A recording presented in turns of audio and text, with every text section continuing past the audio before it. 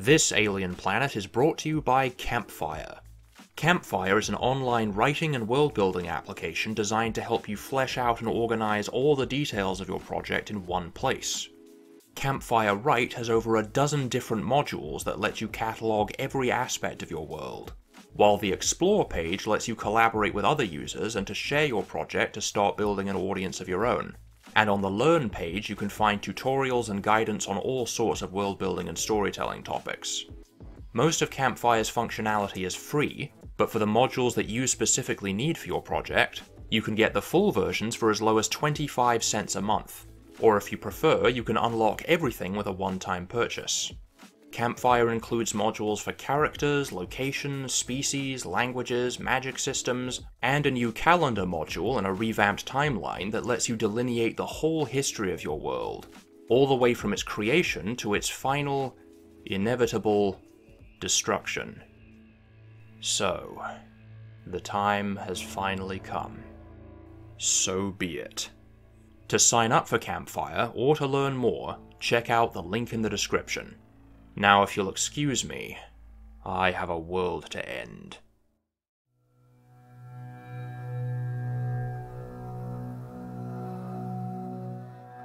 For hundreds of millions of years, the chemophytes, anthostomes, and polypods have held dominion over the biosphere, proliferating into millions of species and adapting to every environment across the globe.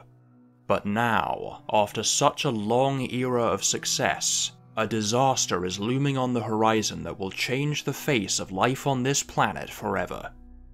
To begin with, extinction is a natural and indeed essential component of evolution. The fundamental premise of natural selection is that individuals with more adaptive traits will survive and pass those traits on to the next generation, while those that are less well adapted will die out and their deleterious traits along with them.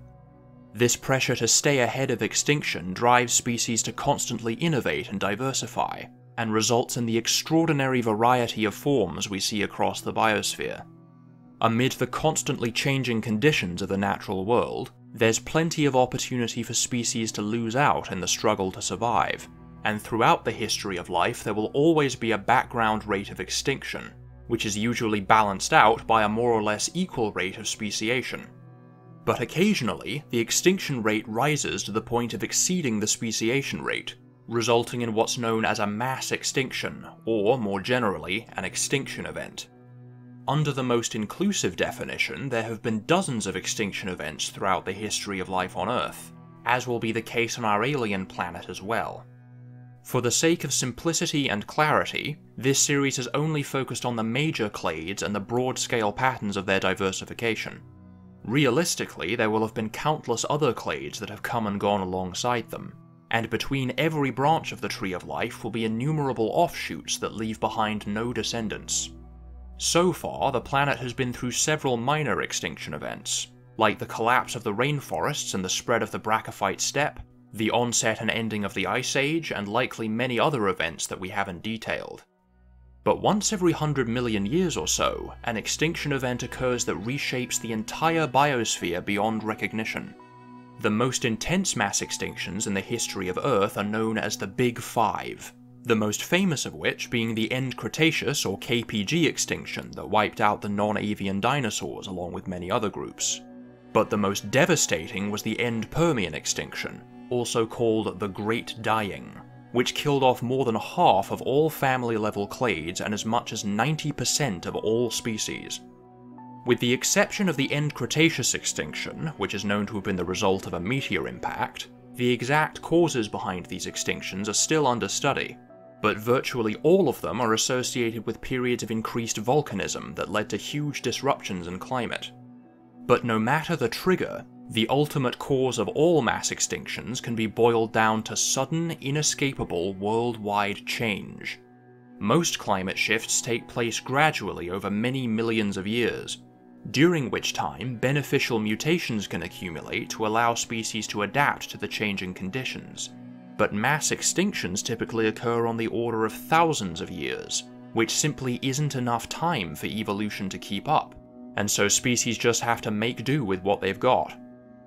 The first stage of the mass extinction on our alien planet will be set in motion by the movement of the continents. Ever since the eastern and western continents began heading back towards each other, they've also been steadily drifting southward, so that as they collide, they'll intrude into the Antarctic Circle, providing more land area for glaciers to form. On top of this, the collision will push up new mountain ranges and increase volcanic activity, which will release sulfurous gases and other particulates into the atmosphere to form thick clouds that increase the planet's albedo, reflecting more and more solar radiation and resulting in global cooling, plunging the world into a new ice age even more intense than the last one. Many of the animals that have thrived in the hothouse period of the last 50 million years may struggle to survive, but before anything has the chance to adapt to this colder world, the situation will rapidly reverse. Volcanoes also produce an enormous amount of carbon dioxide and other greenhouse gases, which, as the eruptions continue over the course of several hundred thousand years, will cause global warming by which the planet's average temperature will rise to unprecedented levels. On Earth, the Great Dying saw average global temperatures increase by up to 10 degrees Celsius, brought on by a series of massive eruptions that caused a six-fold increase in atmospheric carbon dioxide over a period of about 10,000 years. Although it's worth noting that this isn't even close to the rate at which humans are currently putting CO2 into the atmosphere.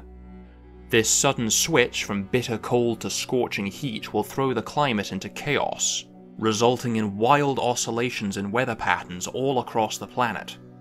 Worse still, such large-scale eruptions will cause flood basalt events, in which enormous tracts of the landscape are ravaged by lava flows.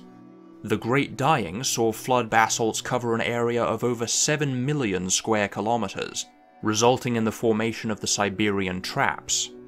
all of these factors will bring about destruction on a scale the planet has never seen, presenting a threat to the entire biosphere that only the hardiest of species will have a chance of surviving.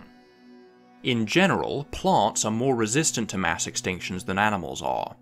Many extinction events in the history of Earth haven't significantly affected plant diversity, so the majority of chemophyte clades may survive in some shape or form. However, while plant diversity won't be severely affected, plant biomass will be hugely reduced, and the distribution of biomes and habitats will change dramatically. The shift in climate will lead to widespread drought, and the ash and aerosols in the atmosphere will block out the sun for months at a time, causing forests all across the planet to die back. The intense heat will ignite the withered remnants of these forests and spark huge wildfires, releasing yet more carbon dioxide. Though many plant clades may be diverse enough to make it through, some won't be able to cope with such huge changes to their habitat. The most significant factor affecting the likelihood of a species extinction is its degree of specialization, as the narrower the range of conditions the species is adapted for, the more sensitive it will be to any changes in those conditions.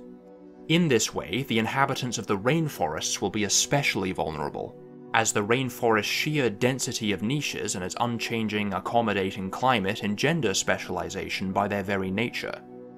As the largest of all chemophytes, the altophytes are only able to achieve their enormous height thanks to the high levels of solar radiation and the perpetual rainfall of the tropics. But as weather patterns across the planet are disrupted, the constant precipitation that fuels the growth of the rainforests will cease, and without sufficient sunlight or water, the altophytes will be forced into extinction. These enormous trees serve as the foundation of the entire rainforest biome, and once they disappear, the countless species that depend on them will be in dire trouble. Many of the smaller rainforest plants are adapted for life in the darkness of the forest floor, and don't require as much water or nutrients to grow, but many of them will still be too specialized to tolerate such an extreme environmental upheaval. In particular, carnivorous plants are found almost exclusively in very wet habitats, as carnivory in plants is most often an adaptation to waterlogged, nutrient-poor soil, so as the tropics become more arid, the carnivorous harpactophytes won't have any suitable areas to grow, and so will be swiftly driven to extinction. For ground plants like the conophytes, the drier climate will not only make it harder for them to grow, but it will also affect the populations of scavengers and detritivores that they rely on for their deceptive pollination, inhibiting their reproduction as the jungle disappears, meaning they too will vanish from the forest floor. The situation will be equally bad for epiphytes, which rely on the enormous trees around them to lend them the support they need to gain access to light. Though the reptophytes, chromatophytes, and ophyllophytes may be widespread enough to survive as a whole, the rainforest species will be hit especially hard, as most of them have specialized to the point where they can't survive at ground level at all. With the decline of these plants, the intricate relationships they've evolved with the rainforest animals will be severed, leading to their demise as well. Many of the rainforest phycopterans are only able to feed on a single species of chromatophyte, and in turn serve as their only means of pollination, so as one clade declines, the other will respond in kind, and although some particularly small and adaptable species might manage to survive elsewhere, the vast majority of Phycopteran diversity will be lost. Similarly, the Phylophorans have evolved to mimic the leaves of specific species of chromatophytes, and to feed on the individual species of nectarivores that the chromatophyte attracts. But depending on a suitable abundance of both of these clades makes their niches inherently precarious, meaning it will be virtually impossible for them to survive once the rainforest ecosystems collapse. But the rainforest animals depend on the plants around them for more than just food. Many arboreal species are so highly adapted for life in the canopy that they're completely incapable of coming down to ground level. Animals like the suspensorial harpactopods and the canopy-dwelling aspidonts require a high density of vegetation for their locomotion and hunting strategies to be effective, and the tannibrachids are so specialized for brachiation that their legs have lost the ability to support their weight and have become virtually vestigial. With the death of the altophytes, Obligately arboreal animals like these will be some of the first to die out. The Dolichostracans are also predominantly arboreal, so the majority of them will die out as well, save for those few species that can locomote effectively at ground level. In particular, the phylactocanthids are so arboreal that they depend on the hoplopods to ferry them to new feeding areas, but as the groves of trees they thrive in become increasingly rare, their feeding and dispersal will become much more difficult, until they too ultimately succumb. And without their phylactocanthid symbiotes, the hoplopods will be robbed of their means of defense, and with food becoming scarcer all the time, they too will eventually disappear. Not long after the specialists are wiped out, the shortage of food will begin to affect other groups. Another factor strongly correlated with extinction risk is body size, as larger animals tend to require a greater amount of resources, which become much rarer during mass extinctions. Plus, large-bodied clades tend to have lower species richness and smaller populations, as well as longer growth periods and slower reproduction, making it harder for them to stay ahead of rising mortality rates. Once the climate begins shifting, it won't be long before megafauna start dying out. Even before the mass extinction, the titanopods haven't been faring well. The majority of species outside the tropics were killed off by the last ice age, and the surviving species have been losing out in competition with the allobrachids. For what few species remain after the interchange, the mass extinction will be the final nail in the coffin. But their allobrachid competitors won't fare much better. The phylacrobrachids and teleobrachids have evolved sizes comparable to the titanopods, making their chances of survival similarly remote. Even the smaller allobrachids won't be safe. In what's sometimes called the Lilliput effect, mass extinctions often cause a worldwide reduction in body size across virtually all animal clades, which, in mass extinctions on the scale of the Big Five, means that any animal larger than about 10 to 15 kilograms is liable to be wiped out. As the lush plains are replaced by barren wastelands, the herds of basal neobrachids, ceratobrachids, corythobrachids, and any other remaining thylacopods will disappear one by one. Their camptopod relatives will follow the same fate, having already taken a substantial hit to their diversity when the allobrachids crossed into the east, and now finally being finished off once and for all. The situation will be no better for older varieties of herbivores, most of the prenobrachids and the basal megalobrachids were outcompeted by other megafaunal clades long ago, and any species that are still around will be doomed. The disappearance of large prey will propagate through the food chain and take its toll on the predators. The large onychodonts have been the most successful clade of apex predators since the invasion of land, but as their hunting grounds are depleted, their supremacy will at last be brought to an end. Although the terrestrial Deinognathans have more generalist diets than the Onychodonts, they'll still struggle to find enough food to maintain their large size, and even the smaller opportunistic groups like the Maliognathans and Lestignathans won't be able to eke out a living in the desolated remains of their former habitats. The semi-aquatic Deinognathans will also begin to disappear as freshwater habitats dry out in the searing heat. The macropredatory Trachognathans won't be able to survive without an abundance of big game, and most of the freshwater Dolichognathans will also perish as their habitat diminishes. Even flying species won't be able to escape the destruction. Although birds as a whole survived the end Cretaceous extinction, representing the only clade of dinosaurs to make it to the present day, many of the most successful groups of birds during the Cretaceous didn't survive the meteor impact, and the pterosaurs were wiped out altogether,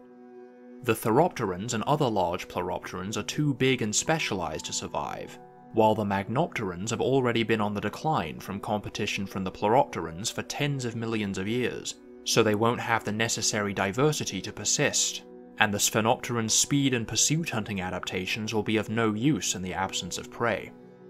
But the devastation won't be confined to the mainland. As we've touched on in previous episodes, islands are much more vulnerable to extinction than continents as they can't support the same level of resources and diversity as larger landmasses. This same effect can be seen in habitat fragmentation, in which large areas of landscape are subdivided into patches between which dispersal is inhibited, which makes each individual fragment more vulnerable to biodiversity loss. Most of the islands in the Pyrenesian archipelago are only a few tens of kilometers across, which constrains the population sizes of their native species and makes them more sensitive to environmental disturbance. So the majority of Pyrenesian fauna will die out shortly after the climate begins changing. And if that weren't enough to seal their fate, the volcanic hotspot that fuels the formation of the archipelago won't remain active forever, and as the islands drift over it, they'll gradually be eroded by wave action until they crumble into the sea, and all of Pyrenesia's unique indigenous clades will disappear with them. The island of Crescentia will suffer an even worse fate, as it will have the misfortune of being right at the center of the continental convergence, first freezing over as it nears the South Pole and the cooling period begins, then scourged by tides of lava once the eruptions ensue. What few notiforms and xenodonts survived the Ice Age and the arrival of the Eryatheres will be promptly snuffed out, and even the Eryatheres themselves won't be able to survive as the island is made completely uninhabitable by the ongoing volcanism. The mass extinction will present an entirely different range of threats to oceanic ecosystems. As the ash clouds darken the sky, the phytoplankton that form the basis of the marine food webs will have a harder time photosynthesizing, depriving the swarms of tachypods, anthostome larvae, and other zooplankton of their food source and the once prolific swarms of tiny organisms will vanish from the surface waters. Additionally, the rising levels of CO2 will react with seawater to form carbonic acid, increasing the pH of the oceans and making it harder for species with mineralized exoskeletons to form their shells. This ocean acidification was a major factor that led to the marine invertebrates suffering the heaviest losses during the Great Dying, with many clades losing over 90% of their diversity anthropogenic climate change is beginning to cause similar effects, such as coral bleaching and the reduction of calcification of many oceanic organisms. Most of the marine anthostomes have calcareous shells, and the reefs formed by the sessile species in coastal waters are some of the richest of all marine habitats, and their death will cause a catastrophic decrease in ocean productivity and cause entire food webs to collapse. On top of this, the changing climate will drastically alter the ocean currents, causing huge disturbances in the distribution of oxygen and nutrients. This is made worse by the fact that as water becomes warmer, its levels of dissolved oxygen decrease, which, along with the changes in ocean chemistry and productivity, will result in an anoxic event, turning large expanses of the seas into dead zones, areas where oxygen levels are too low for any marine animals to survive. Just as on land, the biggest and most specialized marine species will be the most vulnerable. The largest animals in the sea, and indeed anywhere on the whole planet, are the thalattotheres, including the filter-feeding isopterygians and the predatory anisopterygians, many of which exceed 10 meters in length. At such a huge size, even the slightest change in the distribution of resources presents a serious risk, making their extinction inevitable. Even the smaller semi-aquatic animals like the actothias and diptopterids don't have comparable levels of diversity to fully marine groups, and so won't be widespread enough to outpace their rising death toll. Many fully marine clades like the acanthopods, colepods, and tentaclostomes will also take heavy losses, Particularly, large filter feeders like the tylopods depend on high concentrations of plankton and oxygen, and apex predators like the temnopods can't survive without sufficient quantities of large prey. But the marine clades won't be the only ones affected by the change in ocean chemistry. At the bottom of the sea are large deposits of methane clathrate, a form of ice consisting of bubbles of methane held within a lattice of water molecules. These clathrates are only stable under high pressures and low temperatures, so as the sea warms up, the clathrates will dissolve and release the methane from the ocean depths into the atmosphere, a mechanism known as the clathrate gun. As methane is a far more potent greenhouse gas than carbon dioxide, this will result in an even sharper rise in global temperatures, and create a feedback loop by which they climb higher and higher,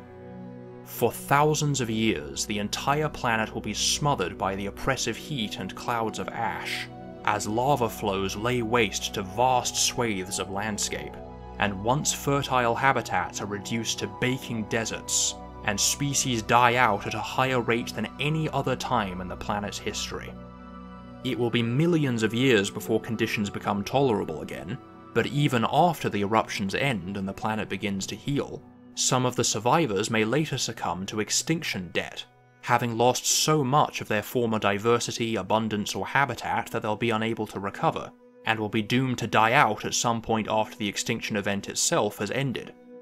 Although the basal platodonts are by and large very adaptable animals, many of the older varieties won't be able to deal with the massive change in conditions after the extinction. The copotarsans may be among those that lose out, as they never achieved a notable degree of diversity, nor did they spread much beyond the coastal swamps they first evolved in, making it harder for them to keep up with the constantly shifting climate.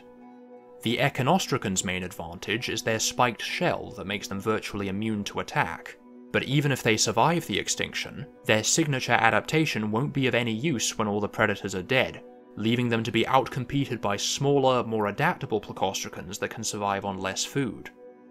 Over the enormous stretches of time that evolution operates, even clades that were once very successful and widespread may ultimately dwindle and die out.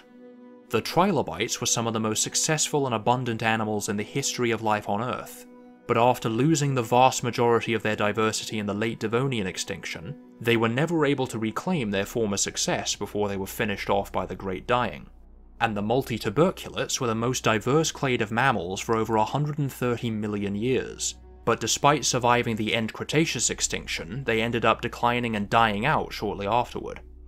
Even groups like sharks and crocodiles, which have famously been around for hundreds of millions of years and lived through many extinction events, have still undergone significant losses in diversity. Roughly half of all crocodilians died out during the end Cretaceous extinction, and about 70% of all shark species disappeared in an extinction event about 19 million years ago. The basal dromaeopods were some of the first terrestrial predators to evolve, but since then they've been losing out against other predatory clades, and even if they manage to endure the mass extinction, they won't have enough of a competitive advantage to re-establish themselves. The leptopods have been some of the most successful herbivores in the planet's history, but with the death of the dominant groups like the allobrachids and the camptopods, the leptopods will have had their moment in the spotlight. And as new herbivores evolve, most of the remaining species will follow their larger cousins into extinction. At one time, the metaxopods were successful enough to invade the land and give rise to the osteopods despite the competition from the lophostomes, but since then they haven't been able to compete effectively with their osteopod descendants on land, nor with the acanthopods in the water, and what narrow range of niches they'll have managed to occupy will be compromised by the mass extinction even to the point of wiping them out completely. The only animals that stand a chance of surviving are those that are small, generalist, and resilient enough to cope with extremely rapid and drastic changes to their environment. though there'll be considerable turnover in many marine ecosystems, the tachypods and other constituents of the plankton are so abundant and have such a high fecundity that some tiny fraction of their diversity will survive, persisting in the few patches of sea that retain enough oxygen and nutrients, and rapidly multiplying to refill the empty oceans once conditions become favourable again. The smallest members of the major clades of acanthopods will also survive, as will the colepods and the lithostracan tentaclostomes within the relative shelter of the ocean depths. Being limited by their lack of internal support to only a few kilograms at the most, the majority of the lophostomes will be within the range of body size necessary to avoid extinction. In particular, the malacoforms are so small and diverse that they may make it through virtually unscathed, much like how insects have been largely unaffected by most extinction events in the history of Earth. The Xerostracans can make use of their aestivation to sit out periods of intense drought and famine, which they may make use of to become one of the most successful diplostome clades during the extinction event. Though the larger Opisthophorans, like the Magnopterans and Sphenopterans, will be wiped out, many of the Leptopterans have remained small enough to make it through. Although the reduction of chromatophyte abundance will pose a danger for nectarivores, a tiny percentage of Phycopterans will be small enough and reproduce quickly enough to survive on the decreased food supply, just as how the Lepidopterans survived the end Cretaceous extinction while most Pipiodonts are opportunistic enough to get by on malacoforms, seeds, and other meager scraps of food. As most of the flightless elastospondyls are arboreal, the worldwide deforestation will claim a large chunk of their diversity, but some of the basal species may still be able to find small prey at ground level and within the isolated pockets of woodland that remain. The Tropophorans may survive by virtue of their infrared sensing, by which they can find and hunt prey more easily than many other elastospondyls, while the survival of the dinoglossids won't be as contingent on the availability of food as it will be on the abundance of their scandapod host species. Fortunately for them, the scandapods are some of the smallest and most diverse of all platodonts, and while they'll certainly undergo a reduction in their diversity, the clade as a whole will still survive. The Pleuropterans were able to achieve sufficient diversity prior to the extinction event such that, although the Tharopterans and many of the larger, older, and less competitive Pleuropterans will be killed off, a handful of Platypteran species will be small and successful enough to survive. The Amblypods were lucky enough to be adapted to arid habitats before the mass extinction, which will make them the only clade of leptopods to survive consigning these once prolific herbivores to only a few small species wandering the deserts and scrublands. But of all the polypod clades, the Seniscians will have suffered some of the heaviest casualties. From the very beginning of their history, they've been specialized for attaining large sizes, developing robust, weight bearing skeletons and becoming some of the first terrestrial animals to move into megafaunal niches. But in the long run, these very same traits will be their undoing, after the marine forms are wiped out and the terrestrial species are all but annihilated, almost the entire Seniscian lineage will be gone. But sometimes, whether a clade lives or dies during a mass extinction comes down to sheer luck. Along the coasts of Septentria, the climate may remain hospitable enough for a few patches of wetland to be preserved, and within their waterways, some scattered populations of the Hypognathans may be fortunate enough to be spared living on the few diplocerids and other freshwater acanthopods that still dwell on the shrunken remnants of the once expansive river systems. And even then, only one genus will survive, clinging on in the Septentrian swamps as the very last of the Seniscians, and a bizarre relic of a bygone era, just as how the Tuatara lives on in New Zealand as the only remaining species of the once widespread Rhynchocephalians. But not all of the surviving clades will emerge from the extinction event in such a sorry state. For some clades, the destruction will bring opportunity. Whether they're wiped out by the mass extinction or simply lose out in competition with their more adaptable relatives, the older clades of Eurychirids will be forced into decline, as will the more specialized groups among them like the Apatochirids, who depend on dense populations of their host species to implement their brood parasitism but many of the other acrochirids, along with the oryctochirids and some of the basal ramphidonts, have a suite of characteristics that will make them some of the most successful animals during the extinction. Their small size means they can survive on very little food, and their diets are broad enough to subsist on whatever they can unearth from the barren soil. Their endothermy lets them maintain constant activity and makes them less sensitive to fluctuations in climate, and they can avoid the worst of the perilous conditions on the surface within the shelter of their burrows. They have very high reproductive rates, and their extensive brood care and social systems ensure that a high proportion of their young make it to adulthood. With this array of adaptations, these little creatures are poised to not only survive the extinction, but also to act as pioneer species, which in the context of mass extinctions are sometimes called disaster taxa, being some of the first animals to recover and thrive in the post-extinction world. But they won't be alone. All that will remain of the dromaeopods after the extinction will be the allodonts, most older clades of which will also perish soon afterward in competition with other groups. But if any of them survive, the xenopsids will certainly be among them.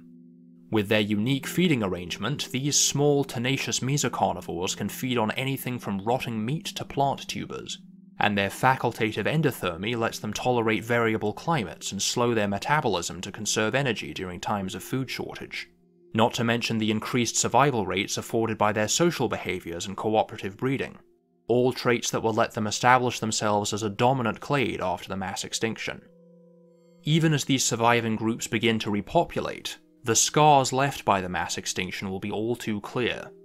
Whereas before the extinction event there was a more or less seamless spectrum of forms across the tree of life, in the aftermath, so many branches will have been removed that the survivors will appear to be grouped into distinct clusters that share key traits in common. This effect can be seen on Earth in the fact that clades have historically been described in terms of classes, such as how vertebrates have been traditionally sorted into mammals, birds, reptiles, amphibians, and fish. However, these groups only appear distinct from each other because the intermediate forms have gone extinct, and if we take these into account, it becomes much more difficult to distinguish where one group ends and another begins. In reality, these classes are defined almost arbitrarily, and often don't represent valid cladistic divisions. Of the osteopods that survive the extinction event, two of the most distinctive groups will be the xenopsids and the ramphidonts, which, since their Poliscian ancestors diverged from each other over 200 million years ago, have each inherited a unique assortment of distinguishing features,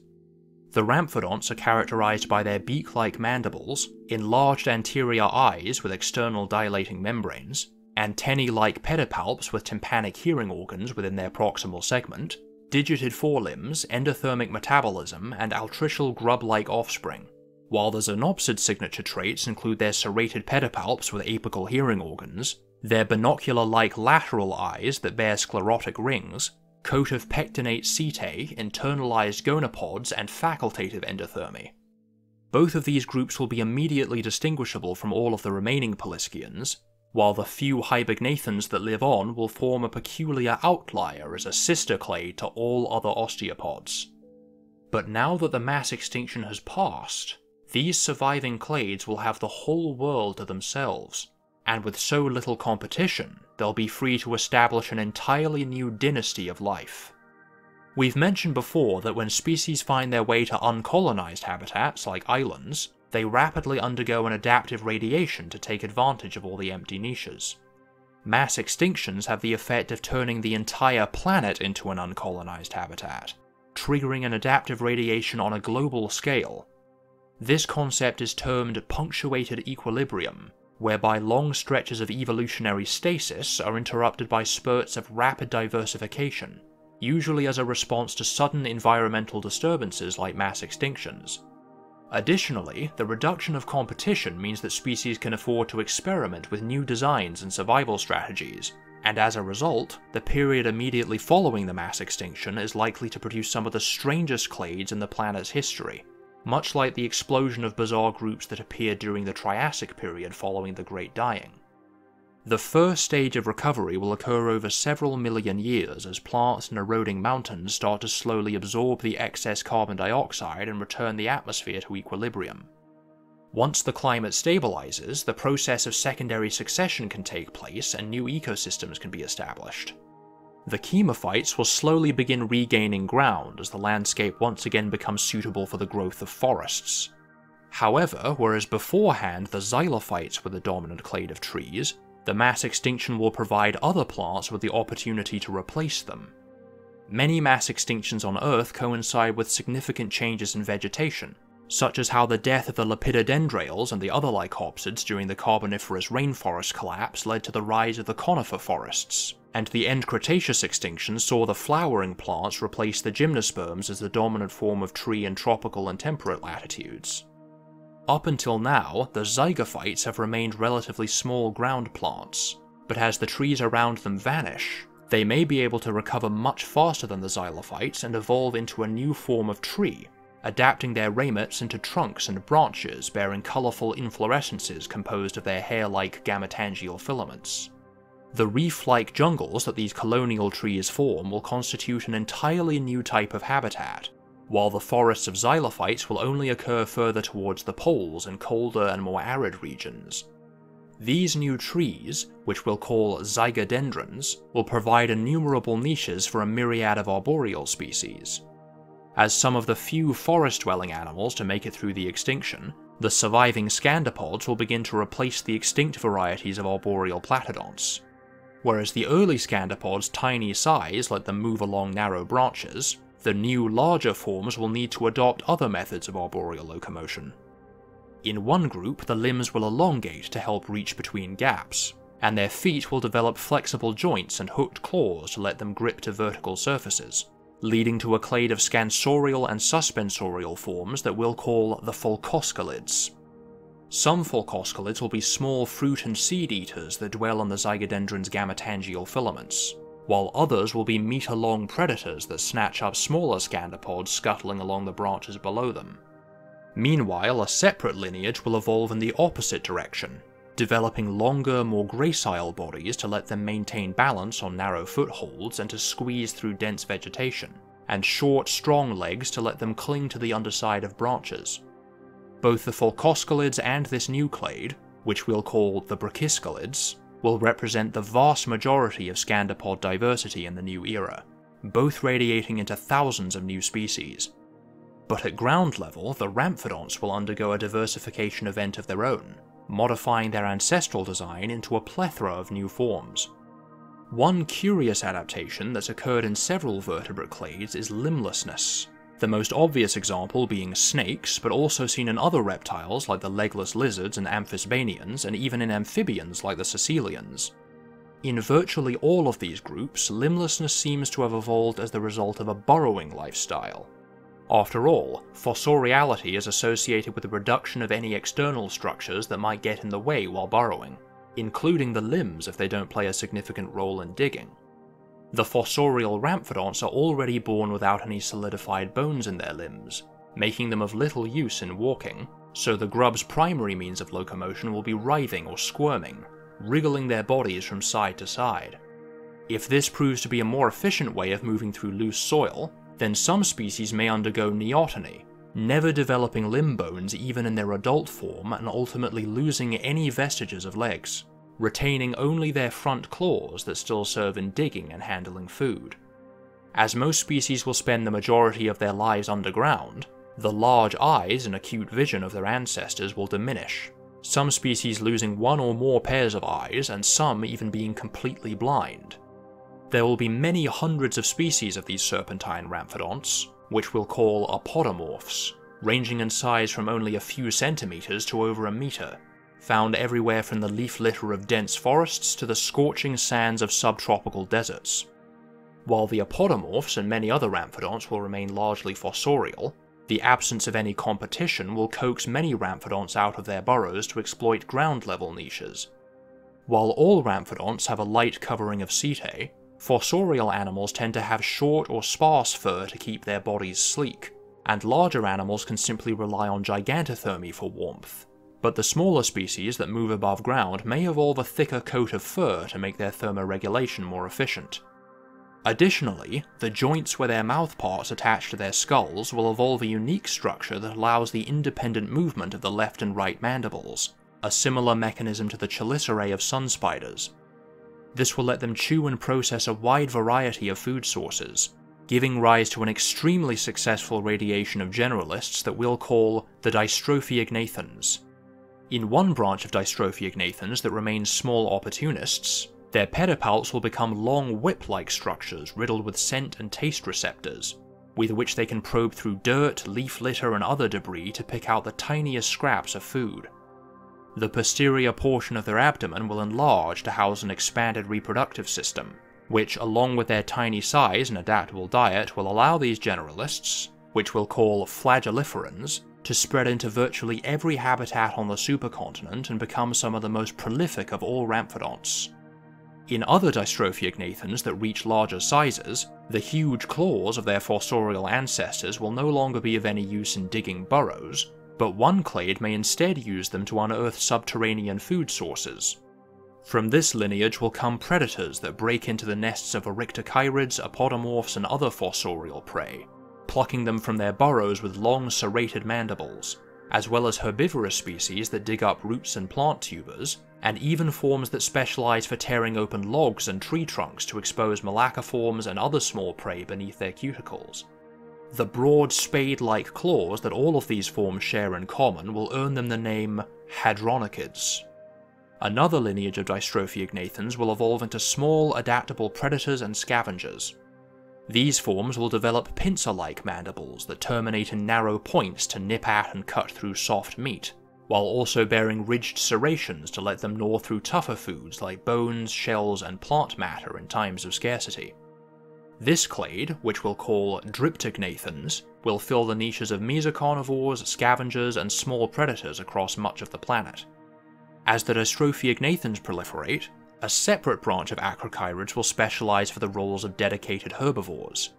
One of the signature adaptations that distinguishes the acrochirids from other ramphidonts is their cecum that allows them to store and predigest food.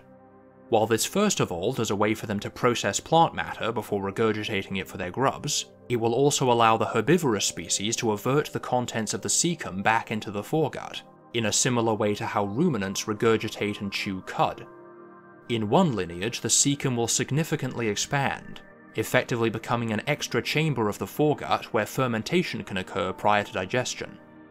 Again, however, it will take some time for the grubs of these species to develop such powerful complex guts, making them less able to feed on vegetation than the adults. In some species, the juveniles will simply rely on their parents to provide them with regurgitated food that they can still digest, while in others this may result in ontogenetic niche shift, a phenomenon in which a species occupies different niches at different stages of its life cycle, which eliminates the risk of the juveniles being outcompeted by the adults.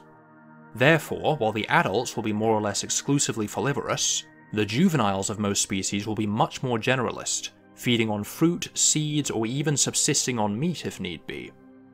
Another common adaptation among herbivores is for their jawbone to evolve an offset that allows the upper and lower teeth to all come into contact at once, improving their ability to grind down vegetation, which these forms may emulate by evolving a distinct right angle between the bones of their lower mandibles, allowing the flattened interior edges of the teeth to press together like a wrench, giving this line of acrochirids, which we'll call proseciforms, the most efficient plant-eating mechanism of any osteopod, and let them dominate the herbivorous niches in virtually every habitat.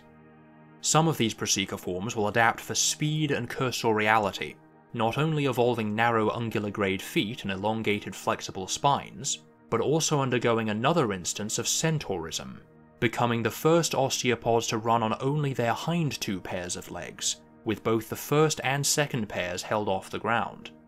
This radical innovation will reduce the energy required for running, giving them some of the highest locomotive efficiency of any clade yet to evolve. Some will only exhibit facultative centaurism, still keeping six legs on the ground when resting, while in others the front legs will effectively serve as a second pair of feeding arms. These swift quadrupeds, which we'll call oligopods, will branch off from the other proseciforms early on in their history, and will range from meter-long, lightly built grazers that forage within the groves of zygodendrons to large browsers that use their freed-up front legs to pull down tree branches. A separate clade of proseciforms will sacrifice speed to become lumbering megafauna, evolving enormous foreguts and multi-chambered stomachs, robust grinding mandibles to continuously harvest brachyphytes, and powerful muscles in their back anchored to bony crests to support their massive cephalothorax. As they don't need to be selective in their feeding, the antennae on their pedipalps will become reduced to nearly vestigial structures so as to not get in the way of the rake-like forelimbs that continuously sweep through the brachyphytes and pass food into the mouth. These gigantic beasts, which we'll call megantiforms, will be the largest grazing herbivores since the titanopods. In the scramble to fill all the empty niches after the mass extinction, some acrochirids may even be able to move into arboreal niches, in making this transition, one clade will not only develop long, flexible limbs for climbing and maneuvering through the tangled canopy of the zygodendron forests, but also a special foot structure with wide pads to give them strong purchase on precarious footholds and to adhere to near vertical surfaces, as well as a tail-like dorsiventrally flattened posterior abdomen, which, along with the gonopods, will form a partially prehensile appendage to assist in maintaining balance and clinging to branches.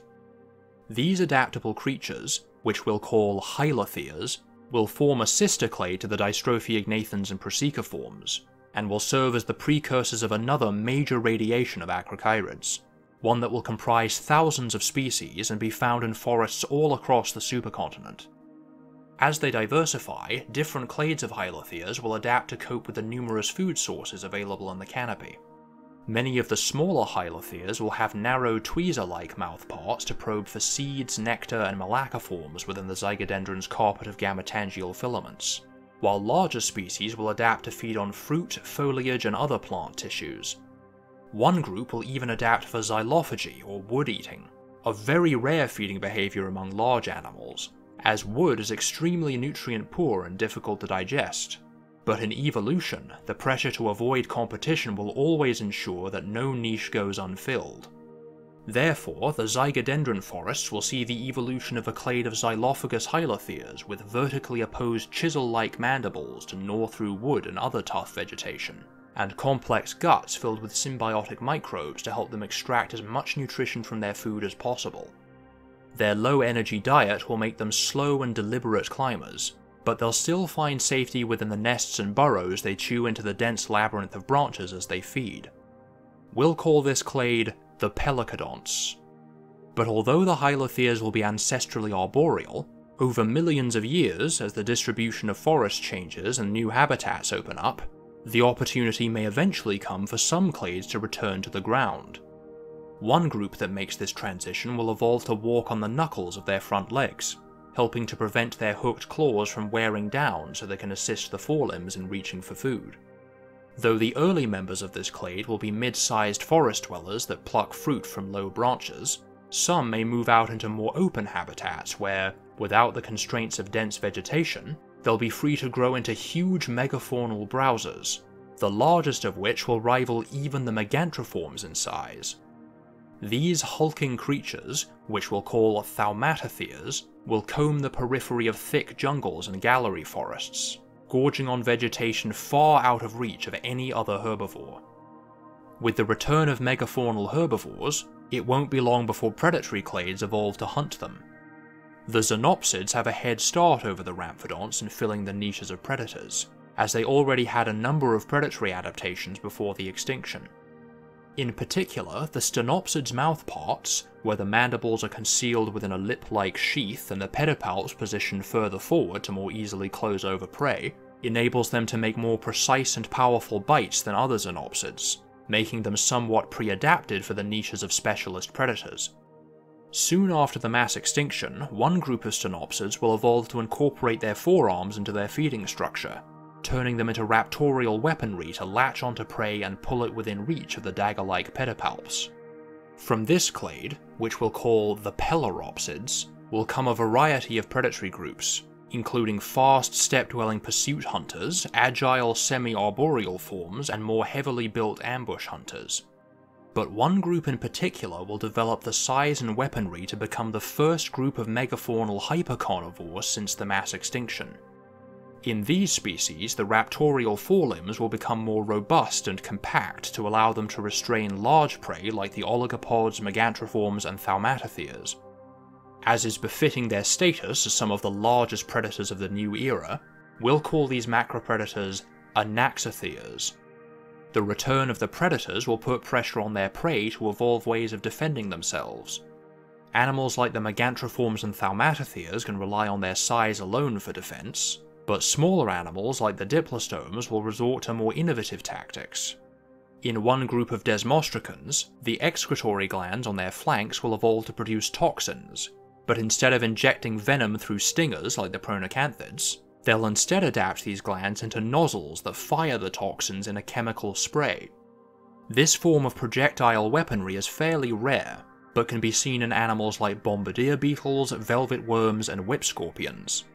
In many species, the spray will consist of a noxious, foul-smelling liquid that repels potential attackers, while other species will produce strands of sticky, web-like slime that can entangle and entrap malacoforms and other small prey. To complement this weaponry, they'll also evolve aposematic coloration to make sure that predators know to avoid them. Due to their distinctive defenses, we'll call them mixobolids. Not all the xenopsids will be predators,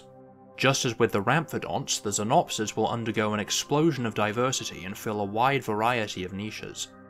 In one group, the second claw on their forelimbs will elongate into a forward-angled spur against which the terminal claw can close, turning the distal portion of the limb into a structure similar to the chelae of many arthropods. These chelae will give them a much more precise means of manipulation, letting them selectively pluck up seeds, malacoforms, or other small morsels of food we'll give this lineage the fitting name Calaphorans. Although most Calaphorans will be small opportunists with narrow pointed chelae, one clade will adapt for handling larger items like fruit, eggs, and even small prey like diplostomes, and so their chelae will evolve into robust crushing claws to let them break apart their food before passing it into the mouth. These strengthened chelae will also serve as formidable weapons to fend off predators and compete with rivals for access to mates. These tenacious generalists, which we'll call pachycalaphorans, will include some of the largest calaphorans, found everywhere from zygodendron forests to arid steppe and scrubland, travelling in family groups in search of anything edible. The calaphorans' chelae will help them become some of the most successful xenopsids, but one group of stenopsids will see an equally bizarre anatomical development. The bones at the base of the skull will develop tusk-like extensions that jut forward to form a larger surface for the pedipalps to grip against, similar to the head ornamentation of the extinct hell ants on Earth. These structures, which we'll coin the term exognaths to describe, will allow them to more easily bite down onto and grip food items, and from the forerunners of this new clade, which we'll call the ceratodonts, will arise a myriad of groups that each adapt these exognaths to suit different purposes. One clade may evolve to chase down small, fast-moving prey, using their exognaths to assist in snatching up and restraining their quarry. These forms will adapt for speed and maneuverability, evolving not only long, gracile bodies and powerful running legs, but also undergoing yet another instance of centaurism, the forelimbs tucking under the body to not get in the way when running, making these predators, which we'll call Elaphrodonts, some of the fastest and most agile of all xenopsids. One clade of Elaphrodonts will adapt their pedipalps and exognaths into pointed scissor-like structures, specialized not for grabbing but for impaling and skewering prey, and for delivering snapping bites to slice open lethal wounds. With this vicious armament, this clade, which we'll call the Spathodonts, will become very diverse and successful predators, ranging from half-meter long forest dwellers with long, supple bodies to maneuver through complex terrain in explosive pursuit of their prey, to 3 meter long ambush predators that erupt from the undergrowth to dispatch their targets in a series of lightning fast jabs. While the Spathodonts will typically hunt relatively small prey, Another line of Elaphrodonts may make use of their speed, agility, and weaponry to go after megafaunal prey. In these larger forms, the exognaths will grow upward into knife-like points that interlock with the pedipalps in such a way that both are continuously sharpened as they shear against each other, like the carnassial teeth of many mammalian predators. As they adapt for hunting large prey like the oligopods, megantiforms, and thaumatotheres, they'll be brought into competition with the anaxotheres, which by this point will already be well-established macropredators. However, the speed and locomotive efficiency provided by their centaurism will let them compete effectively for the niches of pursuit hunters, while the Anaxotheres will primarily rely on ambush tactics. We'll call these new hypercarnivores the Zirridonts, but not all ceratodonts will specialize for predation. The increased ability to exert downward force provided by the exognaths will let them deal with food items too tough for most other animals, prompting some species to specialize for durophagy. In one group, the pedipalps will become more robust and heavily muscled, with huge rounded teeth to compress down against the exognaths like a vice, which scavenging species may use to crack open the bones of carcasses, while herbivorous forms may use them to crunch through tough woody plant tissues. We'll call them Cophodonts. In yet other ceratodonts, the exognaths may serve as multi-purpose tools for manipulation, display, or defense. In one predominantly herbivorous group, the exognaths will become horn or antler-like structures to help them dig through the topsoil in search of roots, tubers, and other plant matter. These horns are also likely to be co-opted into weapons and ornamentation in fighting for and attracting mates, even to the point of undergoing Fisherian runaway in some species, with males bearing horns so large and unwieldy that they encumber their movement and their ability to feed. Although some ceratodonts such as these, which we'll call aratrodonts, will develop herbivorous tendencies, it will be a separate branch of xenopsids that comes to fill the niches of large herbivores. While large ramphidonts like the megantiforms and thaumatotheres will come to fill most of the niches of megafaunal herbivores, the xenopsid's coat of pectinate setae lets them more easily adapt to colder climates than the ramphidonts, so one group of xenopsids may manage to fill the roles of large browsers in the seasonal forests and tundra towards the south of the supercontinent. As some of the relatively few fully herbivorous xenopsids, their enlarged lateral eyes, which in most xenopsids face forward to grant them binocular vision, may instead angle sideways to give them a full view of their surroundings to look out for danger, giving them a distinct hammerhead condition. From this lineage, which we'll call the teleopsids, will come large folivores that wander through the xylophyte and notophyte forests, as well as stocky, tundra-dwelling grazers and smaller forms that dwell atop mountain crags or rocky plateaus. But as all these various groups recolonize the land, there will also be plenty of empty niches in freshwater and marine habitats, which will incentivize some groups to develop semi-aquatic lifestyles, just as how many secondarily aquatic groups on Earth first evolved shortly after mass extinctions. One group of basal xenopsids will begin the transition to aquatic life by wading into the shallows of rivers and lakes to hunt acanthopods. In so doing, the claws on their forelimbs will adapt into a line of needle-like points, reminiscent of the teeth of many piscivores on Earth, an ideal shape for grabbing onto slippery aquatic prey. Their spiracles will move onto their back to let them breathe while the majority of their body is submerged. The dense covering of pectinate fur common to all xenopsids will create excess drag when swimming, so many species will become hairless, as many aquatic mammals have done on Earth. These xenopsids, which we'll call Anchistrabrachids, will be commonly found along riverbanks and lakesides, standing motionless with their forelimbs splayed out and snatching up any acanthopod that comes within reach. Some of the ramphidonts will also have semi-aquatic representatives. In the river basins of the tropical forests, one clade of hylotheres may evolve to traverse the flooded waterways by adapting the pads on their feet into broad flippers. However, the developmental changes that the ramphidonts grubs undergo as they mature may influence how they make the transition to semi-aquatic life. In some species, the juveniles will be exclusively terrestrial, gradually becoming more adapted for swimming as they age, whereas other species will live in the water from birth. In the latter species, the grubs won't develop the leg bones necessary for limb-driven swimming until relatively late in their development, so the juveniles will mostly use body-driven swimming, propelling themselves with vertical undulations of their elongated body and leaf-shaped tail fluke while the adults will swim using their six flipper-like legs, keeping their clawed forelimbs folded up against the body to minimize drag. These ramphidonts, which we'll call Gerinotheres, will fill niches ranging from omnivorous generalists to small acanthophores to large predators that ambush terrestrial prey. There will also be an abundance of niches to be filled in the oceans, by this point, the tachypods and acanthopods will have begun to regain their former diversity and refill the empty seas.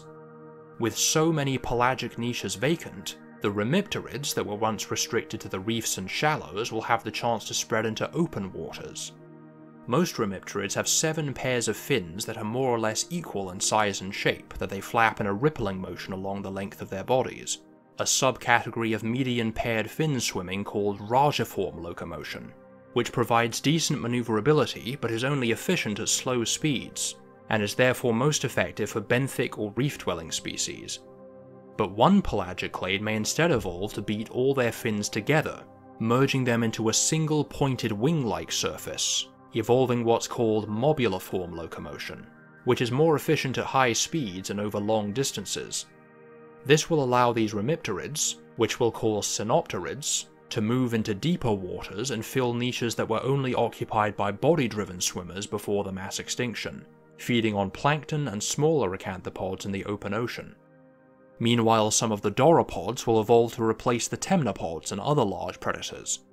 The doropod's harpoon-like mouthparts evolved as a mechanism for spearing small prey without creating turbulence, but they can also be fired into the bodies of larger prey to inflict lethal damage, resulting in the evolution of a clade of powerful macropredators with torpedo-shaped bodies and thunniform swimming for speed and acceleration a group that we'll call the Xiphopods.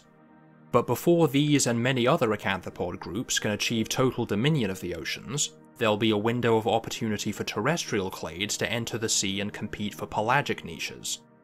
From the same ancestors as the Hylotheres will come a clade of acrochirids which, like many of the Gyrinotheres, will produce grubs that are adapted for aquatic life from the moment they're born, which will rid the adults of the need to return to the land to give birth, letting them lose any capacity for terrestrial locomotion and turn their limbs into powerful flippers.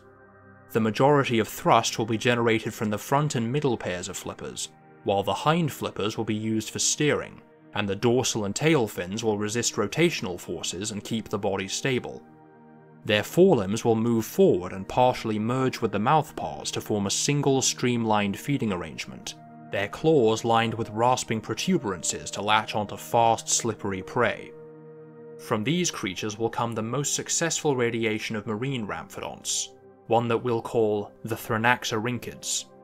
Most Thrinaxorhynchids will be fast predators that chase down acanthopods and other nekton,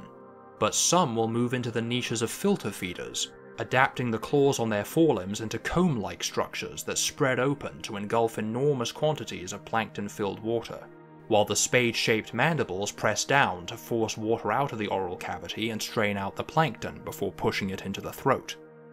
With the buoyancy of the water to support their bulk and the profusion of food in the surface waters, these creatures, which we'll call dictyorhynchids, will become the biggest animals on the planet, the largest species exceeding 30 meters in length. But as life in the oceans and on the supercontinent is replenished, there'll be many isolated and outlying areas that will follow a completely independent path to recovery. In particular, the island continent of Septentria will have remained in allopatric isolation from the supercontinent since before the mass extinction, and since it separated from the eastern continent before the interchange, the Xenopsids and the Ramphidonts, both having evolved on the western continent, will have never had the chance to colonize Septentria, so as its biota recovers, the Septentrian ecosystems will come to be completely unlike those anywhere else on the planet. The Hybignathans will be some of Septentria's signature oddities, the Siniskian condition of fused limb girdles being utterly unlike any other living osteopod. But those few species that survive the mass extinction won't be sufficient to re-establish their former diversity and achieve dominance of the Septentrian ecosystems, Instead, other more diverse groups will come from afar to claim the terrestrial niches for themselves. As always, the organisms with the best chance of making it to island habitats are flying animals, and as the only two clades to have evolved flight, the surviving Opisthophorans and Platypterans will furiously compete to regain control of the aerial niches after the extinction, rapidly radiating into thousands of new species to fill the skies. The Opisthophorans won't be able to grow as large as the Platypterans, but they'll still proliferate into innumerable clades of nectarivores, small predators, and scavengers, while from the Platypterans will evolve small frugivores, swift predators, and gigantic long-ranging species with wingspans of over 6 meters. And as part of this diversification, some members of both groups may end up losing their flight altogether. In part 11, we discussed how flying animals tend to become flightless if they find themselves in an environment where there are no predators, as the high energetic demands of flight are no longer justifiable or necessary to maintain. This most commonly occurs when flying animals find their way to islands or other isolated habitats, but in the wake of a mass extinction, predators will become significantly rarer across the whole planet, providing the opportunity for mainland species to become flightless as well. Shortly after the end Cretaceous extinction, flightlessness independently evolved at least six times among various groups of ratites, as well as in other birds like the Dromornithids and the terror birds. Septentria will be an ideal place for flightlessness to evolve, as it will be devoid of the xenopsids and ramphidonts that come to dominate the mainland, giving flying species the opportunity to move into the vacant niches. The Septentrian pipiodonts may give rise to one such flightless group, becoming small forest-dwelling omnivores. Even without flight, their elastic gladius will let them jump many times their body length if they need to escape danger, and will give them a distinctive hopping or bounding gait as they move along the forest floor. Like many of the pipiodonts of the new era, they'll live in social groups that keep in constant communication with each other.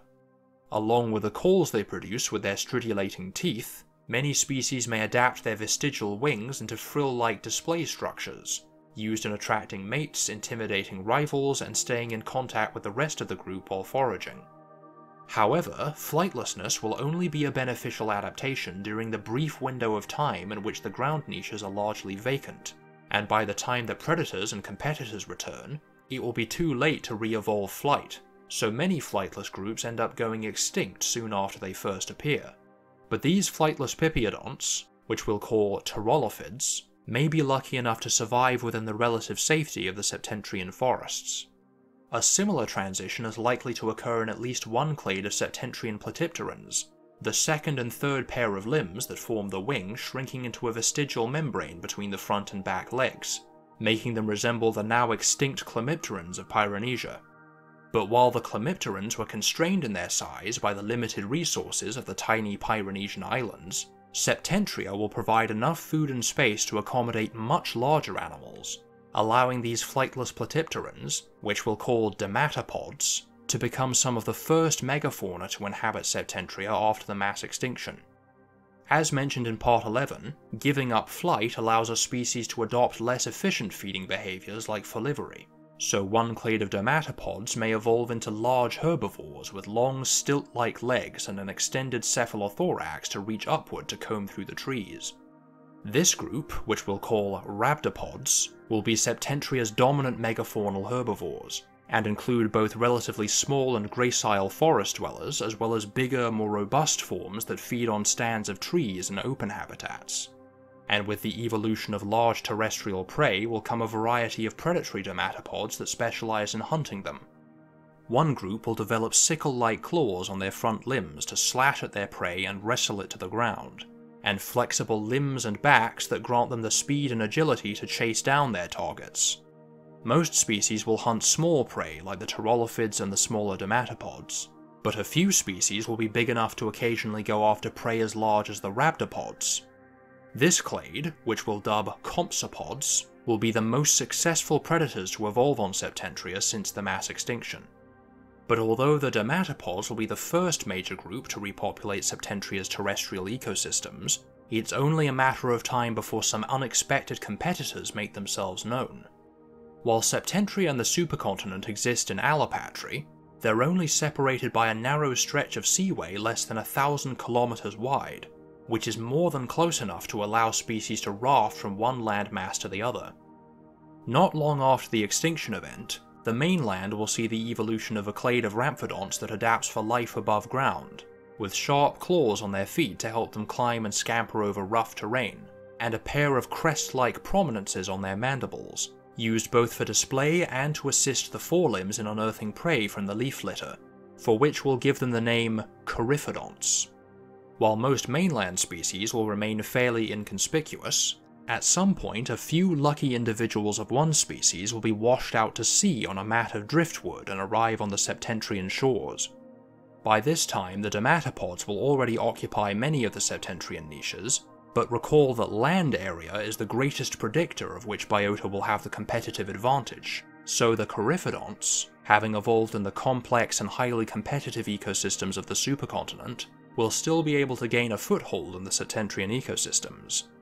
As they diversify, one line of Septentrian Coryphodonts will move into the steppe and other open areas, where they'll be a lot more exposed to danger, so many species will invest in some form of defense.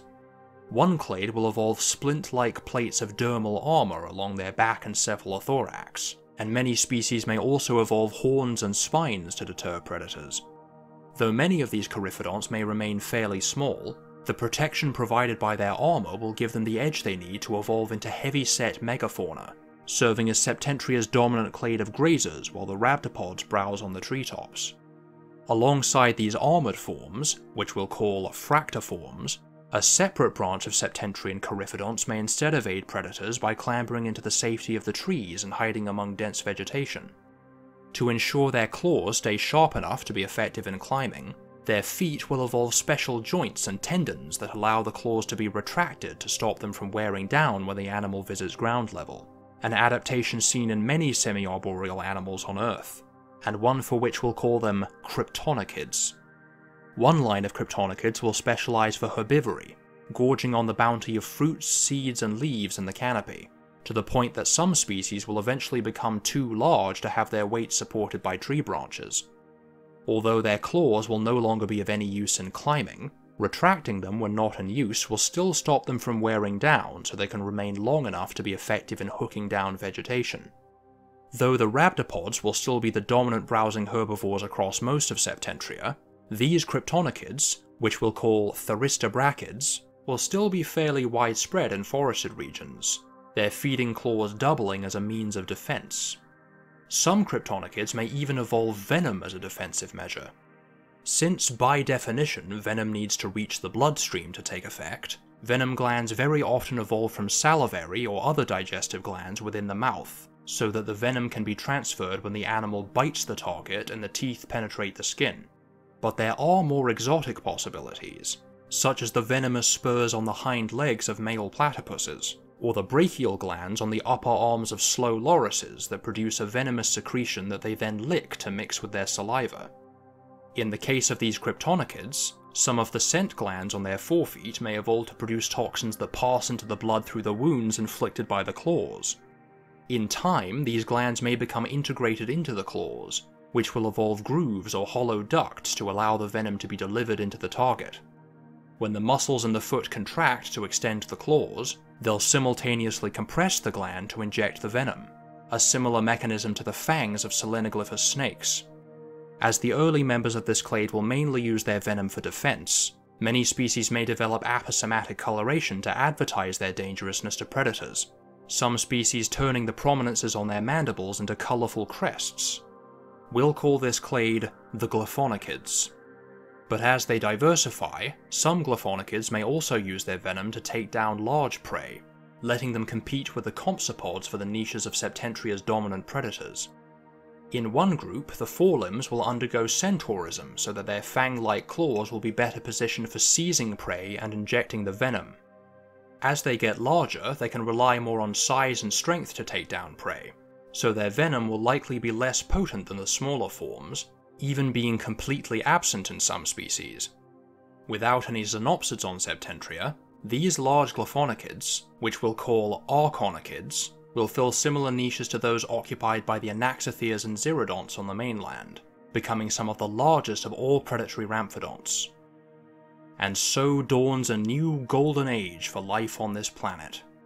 If we wanted to, we could keep on fleshing out the history of the biosphere period after period until the planet is rendered uninhabitable by the expansion of its sun. But for our purposes, this is as good a place as any to leave things off, and to declare this particular time period as the present day. And now that we've finally reached this point, it's about time we gave this planet a name. In keeping with standard astronomical naming conventions, let's give it the official designation of Tira 292b. However, along with a menagerie of forms that appears after the mass extinction, the new era will see the emergence of one particular adaptation, one with the potential to shape the future of the entire biosphere. Next time, in the final episode, we discuss the evolution of sapient life. Thanks to all the artists on Discord who contributed artwork for this episode. If you didn't notice, this episode in particular was especially gigantic, and without their help, this video would have taken at least another 6 months to make. So a huge thanks to all of you for your contribution to this project. Links to the main server and the Tira server in the description. And once again, a massive thanks to all the patrons, who've exercised an enormous amount of patience in waiting for this episode, and whose continued support makes absurdly long videos like this possible. Thanks for watching, and I'll see you in the final episode.